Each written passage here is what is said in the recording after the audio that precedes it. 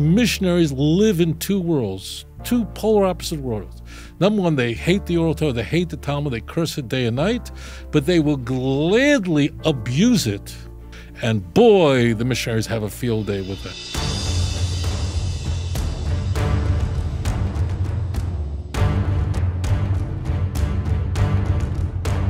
Color you live on the air. Go ahead with your question. Hi, yes, this is uh, David from Oak Park. Um, my question is, uh, why do Messianics reject the oral law? A lot of stuff they do uh, comes from the oral law. Like, I mean, wasn't Jesus uh, a Talmudic Jew after all, and stuff like Hanukkah?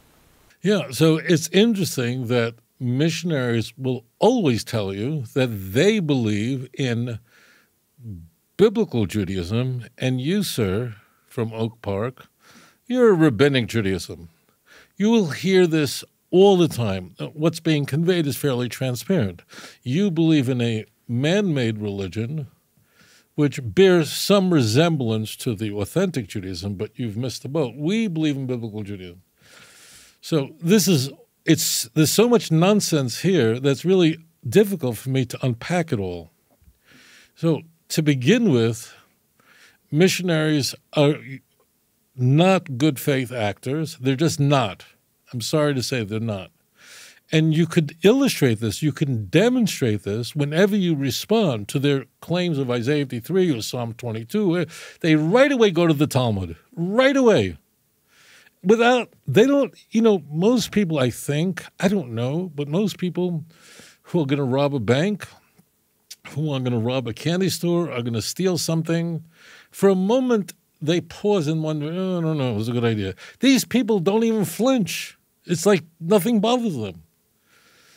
So what does the Talmud have to do with anything? If they believe that the Talmud has no authority at all, because all missionaries are uh, are Protestants, so the sola scriptura, they don't even flinch. It doesn't even bother them. So then they believe in the Talmud and the oral law. Oh, they love it. They'll use anything they can to rescue them from leaving idolatry. They love their idols and so on. Moreover, it gets more unusual than this. I have an entire chapter in volume one of Let's Get Biblical.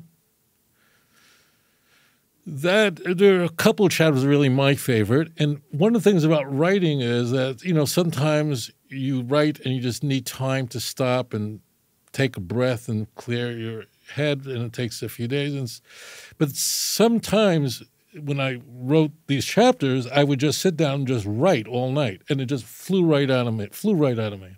And the chapter on the oral law, which is in volume one of the Bible, is one of those chapters which I really enjoyed writing. What is instructive about that chapter, what I go through and demonstrate, is that in the Christian Bible, the oral Torah, the Jewish oral Torah, is quoted all the time. And the Pharisees are held in the highest esteem, not in terms of their behavior, but in terms of their authority in the Christian Bible. In the Christian Bible, the Pharisee, being a Pharisee, was the gold standard. Jesus was from a Pharisaic background, we are told. Paul could not stop bragging that he was a Pharisee. And it is claimed for him in the book of Acts that he was a student of Gamaliel, which is nonsense. But who would have been the chief Pharisee? And the Pharisees, the Christian Bible, the Pharisees believe in the written oral Torah. The Tzaddukim, the Sadducees, who are less prominent but still appear in the Christian Bible, are not considered of high esteem at all. You know, in the Sermon on the Mount, when we're told that Jesus says, "Unless your righteousness exceeds that of the Pharisees, you cannot have," he doesn't say the Pharisees and Sadducees. So they all believed in the oral Torah. They all did. Matthew 23, verse 1, 2, and 3. The Pharisees sit in the seat of Moses, whatever they tell you. If you're not sure what that means, people all kinds of spins on that. It actually says, whatever they tell you to do, you must follow. Now, Matthew 23 will continue with the scathing chapter of attacking the integrity of rabbis, of the Pharisees. For sure, it's unrelenting it's it's a it's a Q source. So it doesn't even bear in the Christian Bible. In fact, many of the arguments that Jesus, we're told, makes with his interlocutors, with his opponents, who are the villains, who are the Jews, Jesus is using exclusively oral Torah in order to defend his position. He's trying to out rabbi the rabbis. Now, if you're a Christian, this is all brand new to you. You're not going to be taught this in Sunday school. You're not. It just it doesn't come up. Why does the church reject the oral Torah? I mean, it's in the Christian Bible. I mean, let's take an example. Ruth is the great grandmother of King David, right? The Torah explicitly in Deuteronomy 23 tells us that no Moabite can join the children of Israel. It's a, it's assur, it's forbidden in the in the Torah. Okay? Now, if you don't have an oral Torah, that means that as nice a lady as Ruth was, her ability to convert to Judaism and be the great grandmother of King David and therefore the great grandmother of the Messiah himself is impossible. The oral Torah, however, tells us that when it says a Moabite, it only means men and not women. Why? Because the Torah says the reason why Moabites cannot enter the congregation of Israel is because that when the Jews were passing through the land, they didn't come out to greet us, to feed us, and so on. But women would have never come out to strange armies passing through. So women not only to men, okay? So all Christianity relies on the oral Torah for that alone. The Nakudot, the vowels, this is the same thing as in Arabic.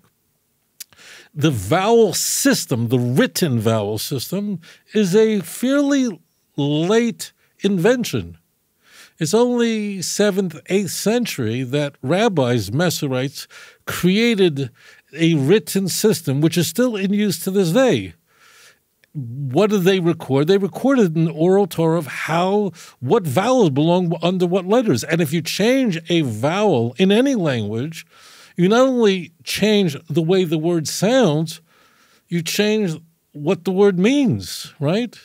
It's just so simple. So how could you not believe in oral Torah if the entire vowel system, the only way you can read Tanakh is through knowing what the vowels are. Why are they called Masoretes, these rabbis? Because they are recording a Masorah, that which has been passed down orally. Follow?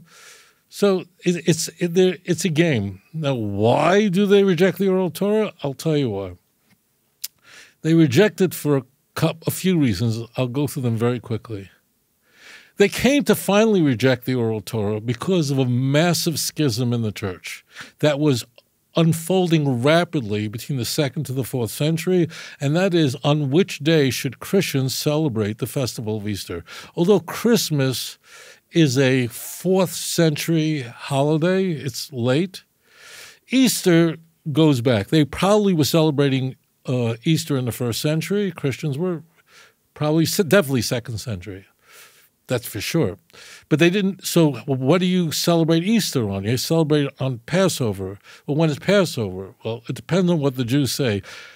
I can't go into the complications, but a, a Jewish calendar is not a calendar of 12 months a year. It can't be because it's a lunar calendar, but there are only 354 days in a lunar in in a lunar uh, year because there's there's 29 and a half days in a lunar month on average. 29.5 times 12 is 354. The problem is the Torah says in Deuteronomy 16, verse 1, that Pesach has to come out in the springtime.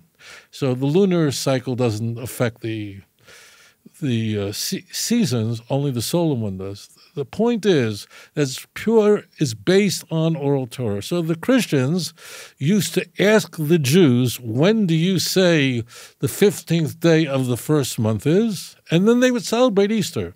But they got into a big fight. Is it the 14th day, 15th day? Because the synoptics disagree with John. Is it the Sunday? Don't ask. It was a whole thing. And it was such a fight that it nearly brought down the whole church. The church was split. It was so much so that finally Constantine had to settle the whole thing at the Council of Nicaea. And at Nicaea, the two issues that were addressed one, everyone knows, is the nature of the deity of Jesus. So, um, Alexander, the bishop of Alexandria, he won, Athanasius won, and Arius lost and, and subsequently exiled. So that's the part everybody knows. But the other part was solving the issue of the calendar. And the Christians and Constantine said, the hell with the Jews, let them all go to hell. We're not relying on Jews anymore. So the oral Torah had to be rejected because the Jewish calendar had to be rejected because the Jewish calendar is completely reliant on oral Torah. You have all these messianic missionaries all over the place. And they have past messianic Passover Seder's all over the place, Hanukkah celebrations all over the place which is rabbinic and it's in the Christian Bible. You know, Christmas is in the 330s. Uh, uh, Christmas, I think, 337. But it's Hanukkah is in, in John chapter 10. It's, it's so crazy. It's so crazy. Moreover, Christians have an aversion to the Jewish oral law because the oral law is transmitted from teacher to student. And because it relies on the organic transmission of the oral Torah from master to disciple, who are Jews who don't believe in Jesus, therefore it had to be rejected. And the final reason why it had to be rejected is because this is a little, uh, it's not complicated, it's a little subtle, but you need to, if you pay careful attention, we'll pick this up. What is the oral law? People think that maybe there are many commandments in the oral law maybe they know the 613 commandments, maybe 400 of them in the written Torah and 213 in the oral law. The answer is no.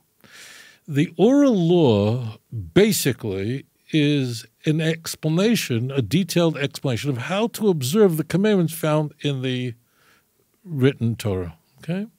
Because the church will come to adopt Paul's antinomian attitude, meaning his aversion to ritual commandments so therefore, the oral law represents the commandments, keeping the commandments, because the oral law tells you how to observe commandments, how to make them observe. How do you do it? What do you do? How do you make tefillin? How do you make it? Right? All right. Torah says you wear it, but what, where, how? That's all all Torah.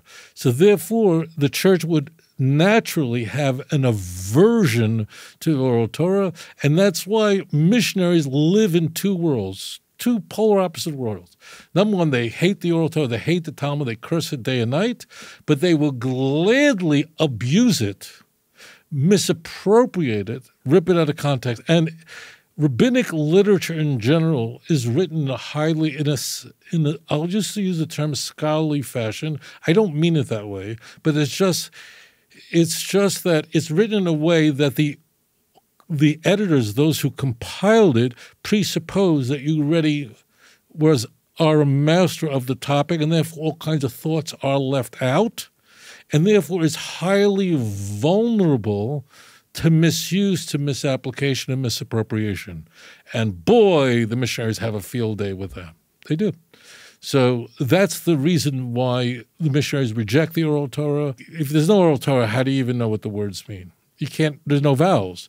Uh, just to explain this like i could say if they're imagine the english language right? So i could say i have a big cat on my hand. I have a big cat on my hand right?